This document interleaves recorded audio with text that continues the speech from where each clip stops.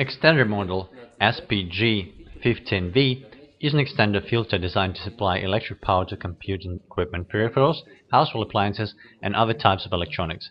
The device consists of an electric protection unit with a varistor circuit and an automatic safety device.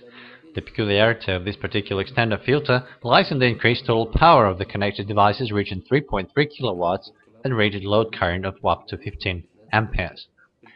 The automatic safety device is triggered if the current exceeds 15 amperes. The safety device may be returned to the initial position by pressing the safety device button.